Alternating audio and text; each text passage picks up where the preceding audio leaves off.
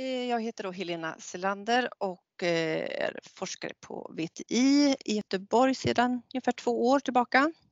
Och dessförinnan har jag jobbat kliniskt som arbetsterapeut med körkortsmedicinska utredningar i ganska många år.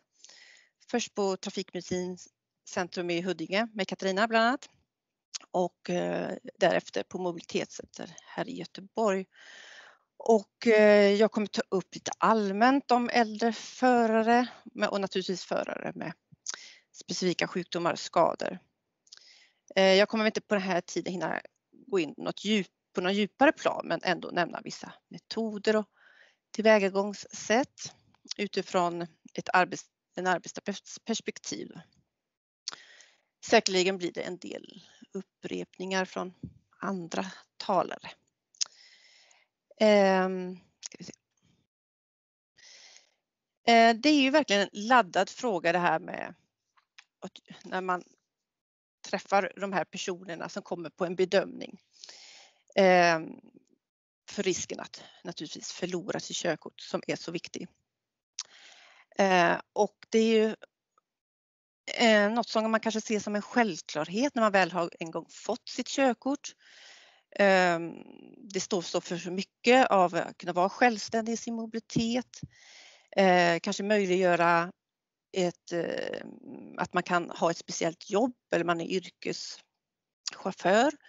Ehm, att man kan ha en aktiv eh, fritid helt enkelt. Och för många också att, vad ska jag säga, ehm, politikerna är på oss att vi ska åka med kollektivt, men det är verkligen inte självklart eh, på många håll i, i landet, utan man är verkligen beroende av sin bil. Eh, könsskillnader, ja, det, man säger kanske lite att eh, så var det mer förr, men jag tycker mig se ändå att det är ganska stora könsskillnader. Eh, framförallt när det kommer till dessa utredningar att eh, det är framförallt män som kommer Eh, på bedömningar. Jag vet inte om det är kvinnor som mer ehm, själv, eh, själv bestämmer att de ska sluta och köra en viss ålder kanske. Ehm, men så ser det ut. Eh, sen naturligtvis beroende på var man bor så är det ju mer kanske komplext eller svårare att köra. Lättare om man bor på landsbygden och kanske mer, kräver mycket mer om man bor i en storstad. Ehm, och Eh, sen är det ju naturligtvis vad vi pratar om idag så är det ju eh, personen i fråga. Eh, och här också då att har du körkort så är det en viss kunskap som ligger bakom och en kompetens för att ha det här körkortet vi kräver i Sverige. Men naturligtvis har vi en viss personlighet som kanske påverkar oss positivt eller negativt som bilförare. Ehm, men så är det då dessa eh, vissa sjukdomar eller i, i vissa fall ålder också då, som påverkar eh, funktioner. Ehm, och det är då en anledning till bedömningar. Och hur påverkas förarbeteendet och lämpligheten? Ehm, det är många som har körkort i vårt land. Men faktiskt är gruppen 65 till 79 år de som eh, flest eh, personer har körkort. Ehm, och eh, många äldre, eh, när man blir pensionär så anpassar man sin körning. Man, när man inte jobbar så naturligtvis undviker man rusningstrafik och eh, många beskriver att man kanske inte längre kör eh, när det är snö eller halt och man känns kanske inte trygg att köra när det är mörkt och så vidare. Eh, och naturligtvis så kanske man inte har samma behov att köra lika långa sträckor längre utan man kör mest eh, ganska nära hemmet ändå. Eh, och här märker vi väl också att när man lever i en parrelation att det blir mer och mer att mannen tar över bilkörningen. Att som kvinna man är mer bekväm att sitta bredvid. Eh, vilket kan bli ganska farligt om mannen sen eh, inte får ha kvar sitt körkort längre upp utan då kanske kvinnan inte längre vågar att eh, eh, köra. Eh, hon kanske haft ett köruppehåll på ganska lång tid. Ehm, så det är synd, så när, om nu kvinnorna är friska naturligtvis. Eh, äldre som grupp är inte överrepresenterade i antal olyckor. Det står ganska många studier om. Ehm, däremot har vi märkt att det har skett en ganska stor ökning i antal olyckor med äldre förare trots att andelen äldre eh, i befolkningen inte har ökat speciellt mycket. Eh, och äldre personer eller, eh, får oftast mer allvarliga skador vid en krock eh, än medelålders på grund av deras skörhet eller att skyddsutrustningen i bilen inte faktiskt verkar fungera lika bra för en medelålders eller yngre.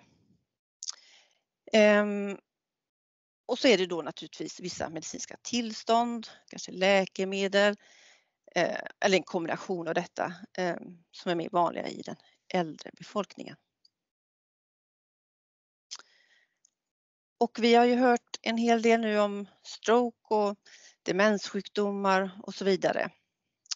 Eh, och något som Katarina tog upp också det här med samsjuklighet, att det är kanske det också ibland kan, som kan vara ett hinder att ha ett körkort, att det är fler än en diagnos eller funktionsnedsättning som påverkar ens lämplighet. Ehm, och pratar vi om personer som har en stroke så säger man ju ofta då att man ska ha ett köruppehåll en viss tid efter sin stroke innan man kan eh, ha en bedömning om man är lämplig att börja köra igen. Men eh, det, man, det, det framkommer ju då ändå att en hel del aldrig träffar en läkare efter tre månader när de ska på återbesök utan det kanske blir en sköterska de får träffa. Så där kan man ju kanske gissa att vissa återupptar sin och köra bil igen eh, trots att de inte träffat en läkare. På eget bevåg helt enkelt. De som får lite mer rehabilitering efter sin stroke, där framkommer ju ofta att det är det, bilkörning är det stora målet, att kunna återgå, det är det viktigaste eh, i, för att komma tillbaka till det gamla livet så att säga. Um, ja, ni har hört om regelverket och riktlinjerna som finns. Ehm, och här är det ju också viktigt när man träffar personen att eh, vi vet om det handlar om personbilsförare eller är det en, yrkes, eh, en som är yrkeschaufför eller kanske både och. Och här är ju riktlinjerna lite mer diffusa, det säger att det är högre krav på allting. Men var ligger ribban där då? Det är ganska svårt för oss som då eh, träffar dessa människor och veta hur mycket bättre ska de vara då än en personbilsförare. Ehm, och testerna vi kanske kan använda. Eh, vi kanske inte har så många fler eh, tester vi kan ta till med alla gånger. Alla har inte heller en neuropsykolog att ta till och kunna göra fler kognitiva tester till exempel.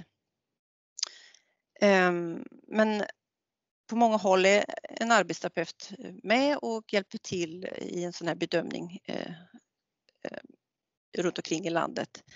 Eh, men det här är ändå ett teamsamarbete eh, och kunna göra olika delar för att kunna knyta ihop påsen så bra som möjligt.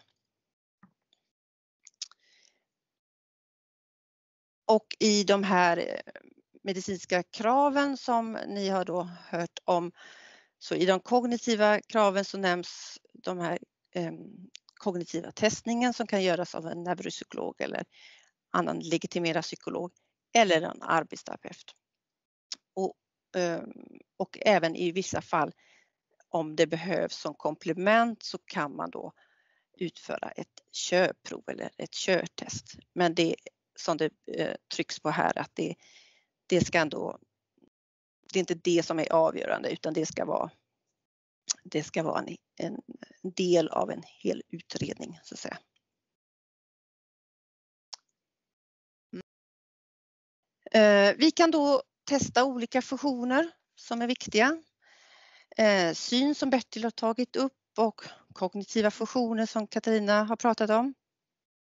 Motoriken kan också påverka körförmågan naturligtvis. Eh, detta är olika förmågor som eh, kan påverka bilkörningen eller lämpligheten. Det vill säga vad man faktiskt kan göra. Och i många fall kan också insikten vara påverkad naturligtvis och man själv inte förstår om man är olämplig att köra bil. Det är ändå många gånger svårt att utifrån dessa tester och bedömningar att ge en tydlig rekommendation och känna att här vet jag, att Eh, här kan vi säga bu eller bä.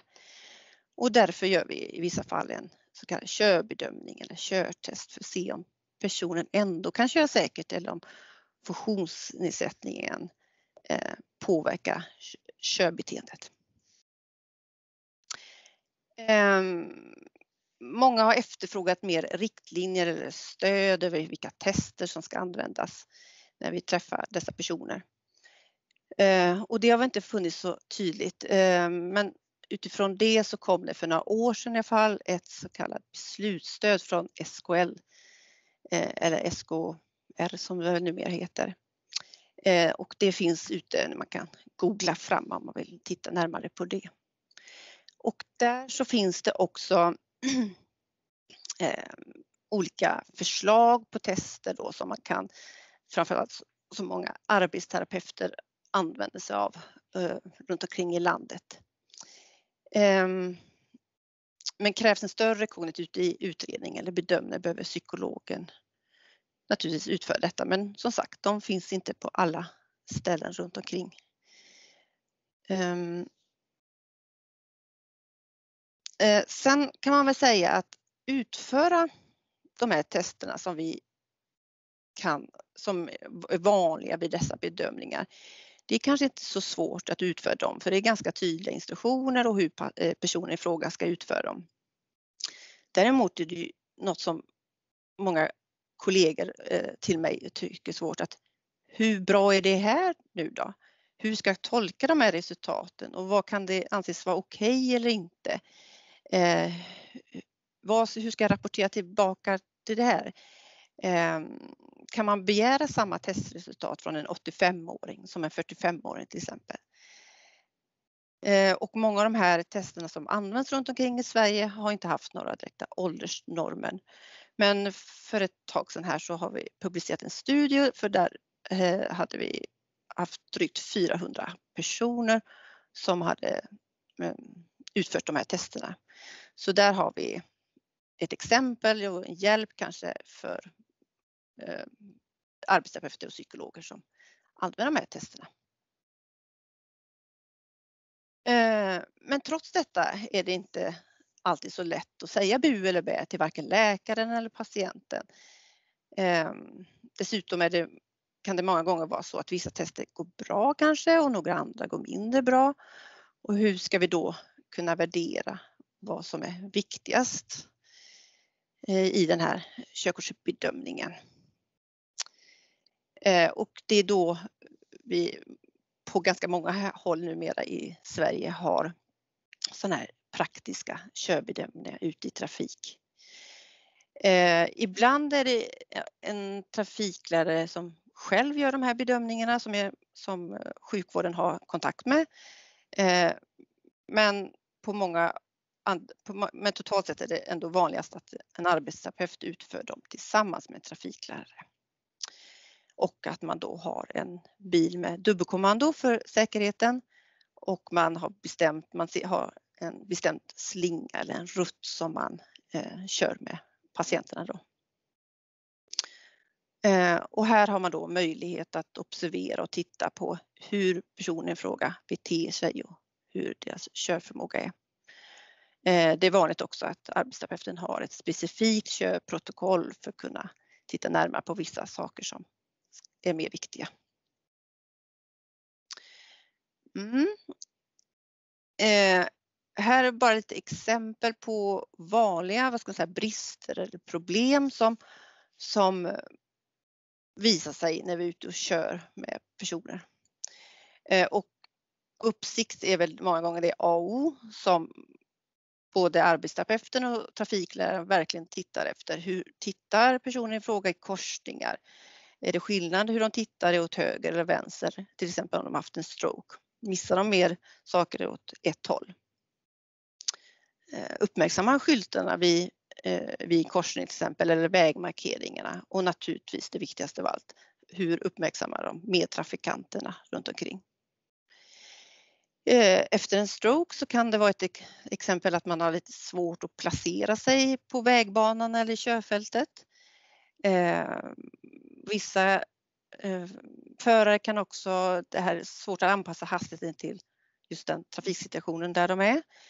Eh, en hel del, och då säger mer äldre, kan ha problem med att växla, att man glömmer att växla eller man eh, kör på fel växel helt enkelt. Att man, man fokuserar mycket på annat, att man glömmer att växla. Kanske tappar bort, eh, glömmer instruktioner, vad trafikläraren sagt till dem.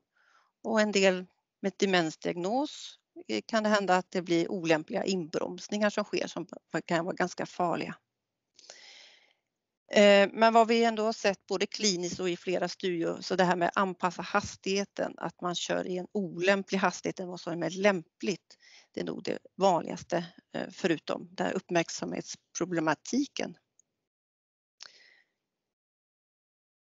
Ehm, Sen har, är det det här då att som arbetsterapeut att försöka knyta ihop påsen och prata med trafikläraren. Vad är det vi har sett och hur ofta såg vi de här problemen eh, ute i trafiken? Eh, var det någon enstaka gång eller kom det i flera liknande situationer samma problem? Eh, hur allvarligt var det? Var det riktigt allvarligt att vi fick bromsa eller var det någon, mm, ett mindre allvarligt fel så att säga? Ehm, kunde vi egentligen koppla det till den här sjukdomen eller skadan de har? Har vi sett liknande problem när vi testar dem inne eh, på kliniken som vi även nu då ser ute eh, på vägbanan. Eller kanske är det dåliga vanor vi ser helt enkelt.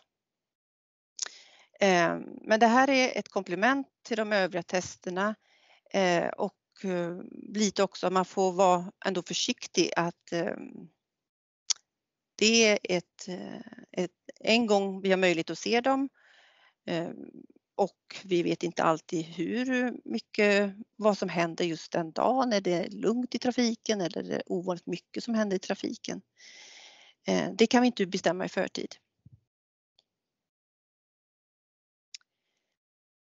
Sen är en väldigt viktig del eh, när vi sen då ska prata med patienten eller försöka återkoppla våra resultat. Ehm, och det är väl en av de viktigaste sakerna kan jag tycka. Att vi får ta oss tid och, och prata med personen i fråga, förklara så bra som möjligt eh, vad vi tycker och varför vi tycker det. Och här är väl körbedömningen eller körtestet många gånger ganska bra när vi haft eh, om det blir ett nej, att vi tycker att det här inte är riktigt lämpligt att du ska fortsätta köra. Om vi då har konkreta exempel som har hänt där, för då är det kanske lite lättare att förstå än att säga eller än att återkoppla och prata om ett visst test du, du har gjort inne på sjukhuset. Um, och det här får låta ta en ganska lång tid ibland för att blir det ett nej så kan det ju vara ett, rent ut sagt, ett trauma för den personen. Eh, det är ju väldigt bra att man har med sig anhöriga för att de ska också förstå varför det kanske eh, varför vi tycker som vi gör som eh, team eller vad vi kommer rekommendera tillbaka. Ehm, och det är ju en balansgång här också, ehm, men, men att försöka förklara för patienten vad det kan vara för risker om man fortsätter. Ehm, men som arbetsterapeut så tycker jag också det är jätteviktigt att vi gör det här att vi kan eh, att vi verkligen rapporterar tillbaka till både läkaren och säger att, att vi har sett det här och vi utifrån vad jag har sett i alla fall så rekommenderar jag BU eller B. För läkaren i frågan, eh, det är det de eh, behöver ha exempel och hjälp i den här bedömningen. Mm. Um, Helena, jag, mm, klockan går. Jag har ja. några frågor. Ja, jag ska bara ta en bild Avbryter jag dig för tidigt? Ja, jag tror jag... Ja, en bild till bara. Ja, en bild till. Sen är det bara de här simulatorerna som har börjat användas lite som komplement eh, ute i landet. De finns på några ställen. Det är inte jättevanligt men det finns eh, för att bedöma vissa fusioner. Eh, Eh, Linköping, Huddinge, Göteborg och Växjö och lite andra ställen som ni ser. Ni får gärna höra av er om ni har frågor kring det. Och sen har vi det här eh, att, att många gånger är anledningen till de här utredningarna undvika en olycka och här finns det mycket mer att göra och ni kommer höra eh, en studie gissar jag från Marie och det håller vi också på med lite liknande registerstudier just nu för att titta på vad är det för typ av olyckor eh, i specifika register bland för äldre förare och, och förare med neurologiska diagnoser. Mm. Ja. Jag hoppar på lite frågor Helena. Mm. I vilket, de här bedömningarna som både du och Katarina pratar om, i vilket skede görs de och vem bestämmer att de ska göras? Ja, det, det beror ju på helt eh, många gånger på vad det är för läkare personen i fråga har träffat. Eh, eller om de är inne i, vi säger att någon person som har haft en stroke eller en hjärnskada och så vidare som kanske är inom rehabilitering. Ehm, så bestämmer ju ansvarig läkare ofta det. Men Sen kan det ju också vara att det finns ganska få ställen som gör de här bedömningarna, vilket kan innebära att det blir ganska långa väntetider om man inte gör det på den specifika kliniken där patienten är. Mm, okay. mm. Finns det någonstans där man kan, om man nu har eh, något, eh, en, något medicinskt som gör att man är liksom tveksam till, eller om, om, om det är tveksamt om man borde få fortsätta köra. Finns det någonstans där man kan träna på till sina tillkortakommanden efter en sjukdom innan man gör det här körtestet? Nej, alltså om vi det beror ju på också lite vad det men är det en stroke så är ju, då har ju de ett muntligt körförbud innan mm. de ska göra en, en bedömning. Så då får de inte åka ut och köra. Nej. Men rent teoretiskt så skulle de kunna gå till en, eh, ja det är klart, åka tillsammans med en trafiklärare. Det får de inte heller då förstås, nej. Då har de inget körkortstillstånd just då. Jag, tror inte eh, att det, nej, men visst, det, sen